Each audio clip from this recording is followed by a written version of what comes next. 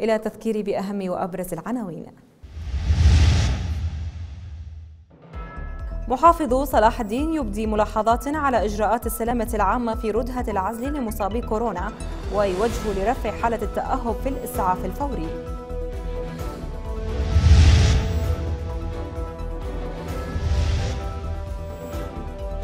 محافظ صلاح الدين يؤكد الحاجة لمدن جديدة على أنقاض تلك التي دمرها الإرهاب والتخريب شرق المحافظة.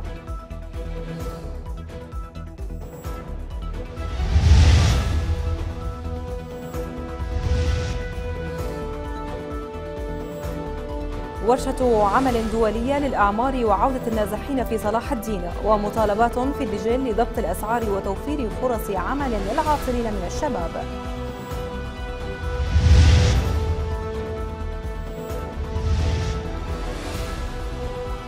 وفاجعة مستشفى الناصرية تعيد رسم المشهد السياسي والأمني في العراق. والكاظمي يلوح بعقوبات بعد فصل العمل الإداري عن السياسي. شكرا لحسن المتابعة في أمان الله.